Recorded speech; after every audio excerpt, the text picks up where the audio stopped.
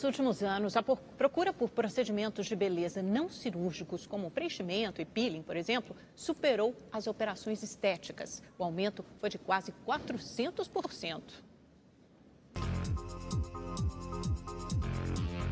Beleza é importante para você?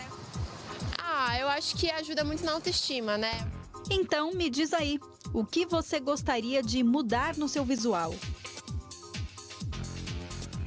Colocaria botox, eu também daria uma puxadinha aqui e ali, né? Ai, eu tenho muita vontade de tirar a barriguinha. De acordo com a Sociedade Brasileira de Cirurgia Plástica, entre 2014 e 2016, a procura por procedimentos estéticos cresceu. Os cirúrgicos tiveram um aumento de 31%, mas o que chamou a atenção foram os procedimentos não cirúrgicos, que tiveram alta de 390%.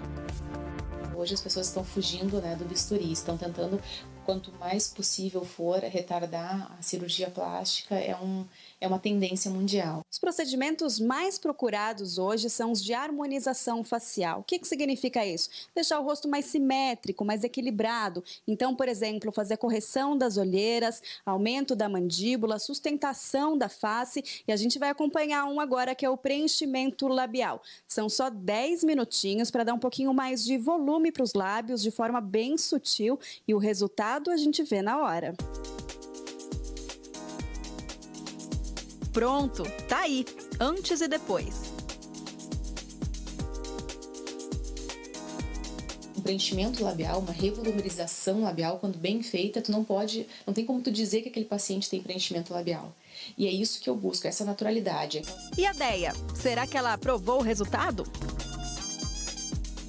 Pensa numa alegria, né? Que a gente se sente toda, minha boquinha está assim, do jeito que eu queria agora.